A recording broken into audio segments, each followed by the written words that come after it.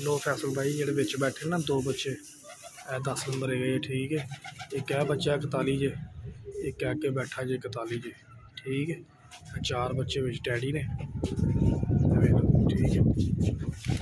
ਤੇ ਹੈਗੇ ਛੋਟੇ ਜੇ, ਠੀਕ ਹੈ। ਇਹ ਬੱਚਾ ਕਾਇਆ ਜੇ 골ਡਨ ਠੀਕ ਹੈ, ਸਾਹਮਣੇ। ਦੂਸਰਾ ਬੱਚਾ 골ਡਨ ਆਇਆ ਜੇ। ਤੀਸਰਾ ਚੀਨਾ ਬੱਚਾ ਜੇ, ਕਾਲਾ, ਪੱਠੀ ਗਈ ਹੈ ਚੀਨੇ। ਇਹਨਾਂ ਦੇ ਸਭ ਤੋਂ ਮਸ਼ਹੂਰ ਕਬੂਤਰ ਐ ਨੇ ਚੀਨੇ ਕਾਲੇ। ਠੀਕ ਅਤੇ ਉਸ ਤੋਂ ਬਾਅਦ ਇਹ ਇਹ ਗੋਲਡਨ ਜੇ। ਠੀਕ ਹੈ। ਅਤੇ ਇੱਕ ਇਹ ਗੋਲਡਨ ਜੇ।